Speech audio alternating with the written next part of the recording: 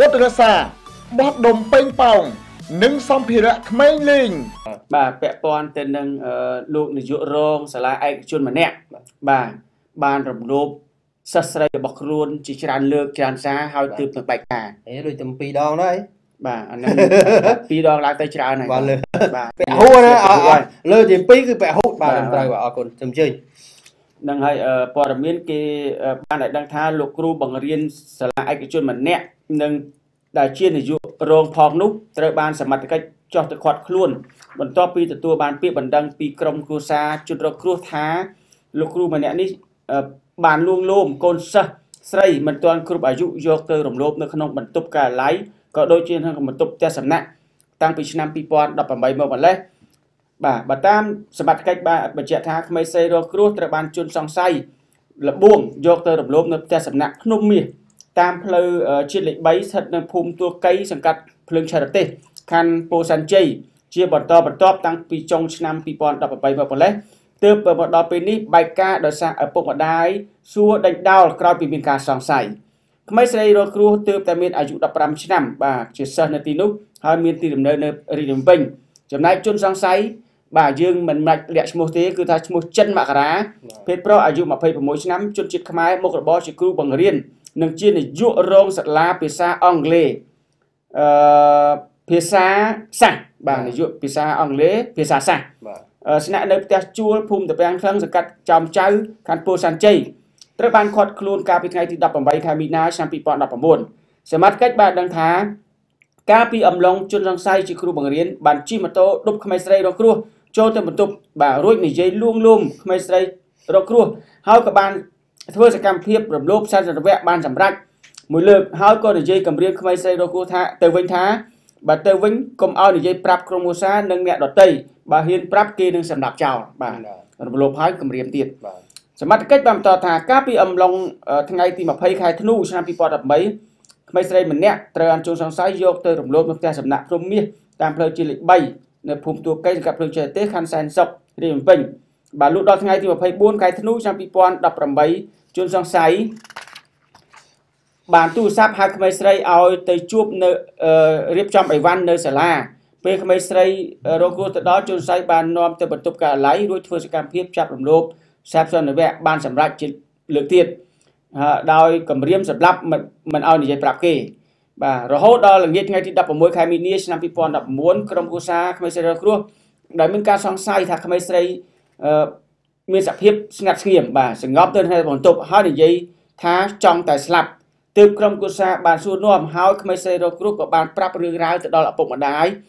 បាទពីសាច់រឿងដែលខ្លួនបានជួបប្រទេសបាទក្រោយមកនៅថ្ងៃទី18ខែមីនាឆ្នាំ2019ម្ដាយក្មេងស្រីរងគ្រោះបាន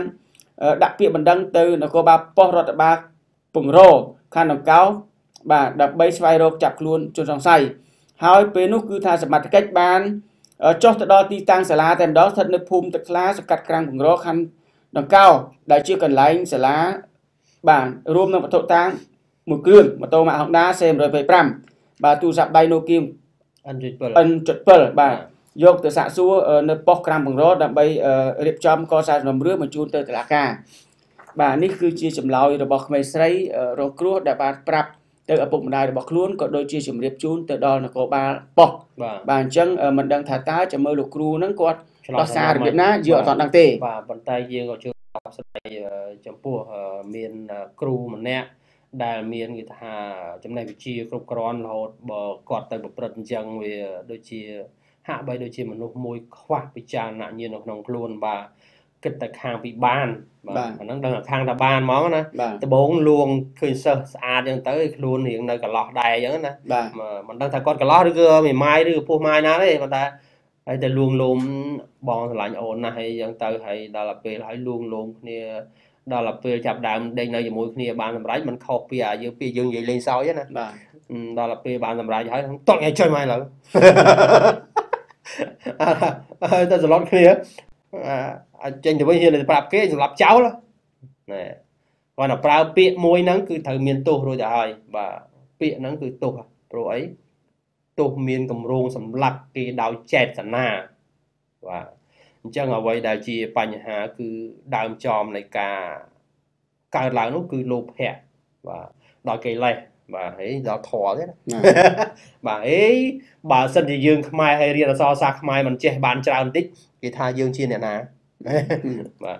អរគុណច្រើនបាទលោកជាតាមានអីបន្តក្នុងរឿងនេះទេអឺហ្នឹងហើយខ្ញុំគ្រាន់តែអឺសូមផ្ដាំទៅយុវជនយុវតីទាំងអស់បាទ មេត្តាកុំចាញ់ការលួងលោមរបស់អឺលោកគ្រូអ្នកគ្រូរបស់យើងពេកបាទបាទមុននឹងយើងជឿជាក់យើងត្រូវពិនិត្យឲ្យបានគ្រប់ជ្រុងជ្រោយបាទបាទអ្វីដែលមិនមិនគួរចូលកុំចូលបាទដល់អុកបន្ទប់ស្ងាត់អីចឹងហើយគេបាទដឹកទៅយើងចេះតែទៅតាមគេដែរយើងកុំទៅទៅវាបាទវាចប់រឿងទៅហើយបាទយើងកិច្ចវេះកុំទៅទៅបាទហើយយើងអត់ជឿជាក់កុំកុំជឿជាក់ទៅលើបាទអ្នកដតីបាទព្រោះថាពេលខ្លះអឺគ្រូខ្លួនឯងមានល្បិចអញ្ចឹងដូចករណីអឺកុមារីរងគ្រោះអញ្ចឹង គឺថាភាសាគ្នាទុកចិត្តថាគ្រូបាទអញ្ចឹងក៏ព្រមទៅជាមួយបាទមិនគួរណាគ្រូគាត់អឺចិត្តជាដេរឆានអញ្ចឹងទេបាទអញ្ចឹងបើសិនជាលោកគ្រូនឹងគាត់បានធ្វើអំពើចឹងមែនបាទអឺសូមឲ្យតុលាការផ្ដន្ទាទោសទៅតាមច្បាប់ចោះបាទបាទទូទួល TNM មិនហ៊ានអាកាត់ថាយ៉ាងណាទេបាទគ្រាន់តែថាទទួលបានព័ត៌មានយ៉ាងម៉េចបាទផ្សាយតែយ៉ាងនោះឯងបាទហើយយើងបាទក៏មិនតន់ចោទគាត់ថាជាអឺអ្នកបានដែលទទួលខុសបានប្រព្រឹត្តដែរបាទថារឿងរ៉ាវយ៉ាងណានោះអឺ ទៅលើសម័យទាំងពីរតើទទួលខុសត្រូវបែបម៉េចចំពោះគ្នានឹងគ្នាទៅវិញទៅមកអឺអ្វីដែលគាត់ធ្វើគាត់ត្រូវទទួលទោសទៅតាមទោសថាបញ្ញត្តិនៃច្បាប់របស់រាជាណាចក្រកម្ពុជាយើងបាទអញ្ចឹងមិនអាចជៀសបានទេបាទហើយអ្វីដែលលោកគ្រូបើសិនជាបានធ្វើអញ្ចឹងមែនបាទសូមអឺមេត្តាឲ្យគិតឡើងវិញ ចំពោះបងប្អូនកូនក្មួយរបស់លោកគ្រូបើសិនមានគេណា ទៅធ្វើអញ្ចឹងចំពោះបងប្អូនកូនក្មួយរបស់លោកគ្រូតើលោកគ្រូយ៉ាងម៉េចដែរបាទលោកគ្រូបាទគាត់ឈឺចាប់ដូចគ្នាបាទទេបាទយ៉ាងម៉េចដែរបាទគាត់ជាឈឺចាប់លោកគ្រូនឹងប្រើពាក្យអញនឹងទៅសម្លាប់ឯងអញនឹងវាយឯងបែកមុខបែកមាត់បាទលោកគ្រូពិតជាធ្វើអញ្ចឹងហើយខ្ញុំជឿព្រោះអីលោកគ្រូនេះបើសិនជាករណីនេះលោកគ្រូមានប្រើពាក្យគម្រាមកំហែងថាកុំទៅនិយាយប្រាប់គេបើនិយាយប្រាប់គេអញនឹងសម្លាប់ហ่ะហ្នឹងហើយហើយដល់ពេលដែលលោកគ្រូចង់គាត់លោកគ្រូនិយាយថាម៉េចបងស្រឡាញ់អូនណាស់ហឹមវាខុសគ្នាឆ្ងាយណាបាទពេលដែលចង់គេ បើចង់គេបងស្រឡាញ់អូនណាស់ដែលដែលចង់គេហើយអញវាយឲ្យចុយមកឥឡូវហ្នឹង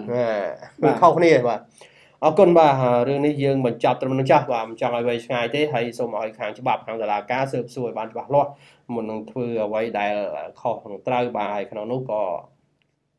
មានគណៈមេធាវីដែលត្រូវជួយខាងស្ត្រីបាទគឺមេធាវីសម្ដេចតេជោមានហើយអញ្ចឹងស្ត្រីដែលត្រូវបានគេ បាទរំលោភនេះ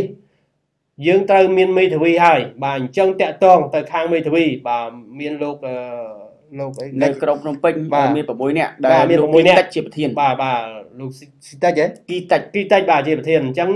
ដឹងហើយបាទសូមក្រុមគ្រួសារបាទធ្វើការបាទតាមរយៈមេធាវីហើយដូច្នេះបើមេធាវីដឹងហើយក៏មិនបើថា គាត់មិនអាចតំណាក់តំណងឬក៏ធ្វើយ៉ាងម៉េចដើម្បីជួបបានក៏លោកអញ្ជើញទៅគោលដៅយើងមានហើយហើយបាទបាទព្រោះកុំរងចាំគាត់មកបើគាត់មិនមកខ្ញុំមិនទៅទេហ្នឹងខ្ញុំមេធាវីបាទហេ